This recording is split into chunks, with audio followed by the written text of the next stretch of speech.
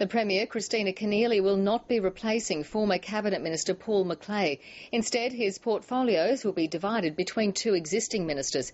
Treasurer Eric Roozendaal will take on Ports, Waterways and Illawarra, and Primary Industries Minister Steve Whan now has responsibility for mineral and forest resources.